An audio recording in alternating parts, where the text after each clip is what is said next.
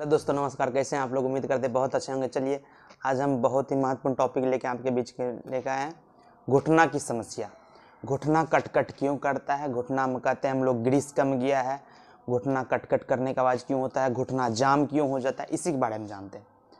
तो घुटना cut cut होने का पहले चलिए कारण जानते हैं कि घुटना ग्रीस कमना घुटना कट कट क्यों होता है। तो पहली बात, यदि आप के शरीर में विटामिन विटामिन डी की डिफिशियंसी हो गई है, कैल्शियम की डिफिशियंसी हो गई है, इस वजह से हो सकता है, या फिर आपका मेनिस्कस, वो मेनिस्कस वहाँ का डैमेज हो गया है, कार्टिलेज वहाँ का डैमेज हो गया है, वहाँ का बोन घिस गया है, और लिगामेंटल जो वहाँ का रैप्चर होने की वजह से ये दिक्कत आती है, या फिर आपका साइनोवियल फ्लूड वहाँ का घट गया है। साइनोवियल फ्लूड फ्लूड क्या करता है? आपके दो दो जो हड्डी होते हैं ज्वाइंट में, उसको लुब्रिकेशन का काम करता है मोमेंट करता है। यदि वो सूख जाए, वो कम जाए, उस वजह से भी आपको कट कट की आवाज़ आएगी, घुटना जाम हो जाएगा, घुटना का मोमेंट रुक जाता है। तो डॉक्टर क्या बोलते हैं? इसको ऑपरेट कराइए। इसी को हम कुछ दवाई लेके भी मेंटेन कर सकते हैं।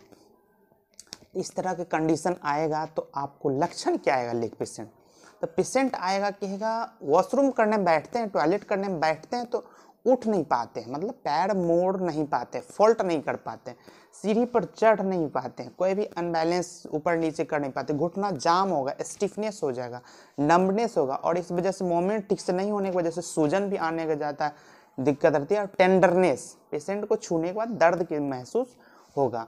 इस तरह के लक्षण आए आपको पेशेंट बताए कि हमको लगेगा घुटना, देखिए ना, फटते हुए दर्द हो रहा है, मोमेंट नहीं कर पाते हैं, बहुत सीवियर दर्द हो रहा है, उठ बैठ नहीं पाते हैं। मेरा तो मतलब कोई भी रूटीनली जो हम वर्क करते हैं, वो भी करना मुश्किल हो गया है।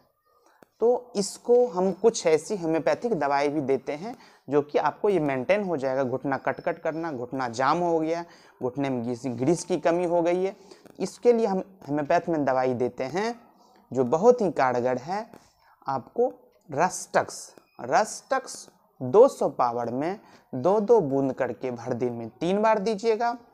ये आपको क्या करेगा? मोमेंट को मेंटेन करेगा और इसके साथ यदि ज़्यादा कट कट की आवाज़ आ रही है घुटने में, क्रैकिंग साउंड हो रही है। इसके लिए हम देते हैं एंगस्टूरा एंगस्टूरा भर ये सिक्स पावर में दीजिएगा। दो दो बूंद करके तीन बार यदि घुटना, कार्टिलेज वहाँ घिस गया है, उस वजह से सूजन हो गया है स्टिफनेस ज़्यादा हो गई है। एक bio combination calcarea fluor six X bio combination calcarea fluor six X यदि आप दीजिएगा चार टेबलेट तीन बार, इस तरह के दिक्कत से आप बिल्कुल ठीक हो जाएँगे। यदि किसी का क्रोनिक होती है तो उसको थोड़ा लंबे समय तक दीजिएगा। इसी तरह के नए वीडियो आपके लिए लेके आते हैं। यदि वीडियो अच्छा लगा तो मेरे चैनल को लाइक, शेयर और सब्सक्राइब ज़रूर करें। धन्यवाद।